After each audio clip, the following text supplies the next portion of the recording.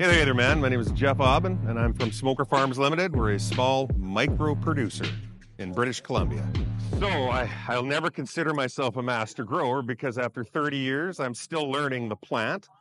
Uh, but it, basically, I, I, I had sold weed as a kid uh, at school, at parks, uh, all the time, man. And then one day my buddy had a grow room. He brought me in it, and my eyes lit up, and I went, hold on a second. Why don't I grow the weed and then sell it like I've been doing as my whole childhood? So that's pretty much what did it for me, man. I just needed one room to see how easy it was, and uh, but it wasn't easy, obviously, but that was the catalyst for me, man. There's so many challenges in growing weed here, especially legal weed, man. Uh, I, I wear so many hats in the facility. I'm an electrician. I'm a plumber. I'm the grower.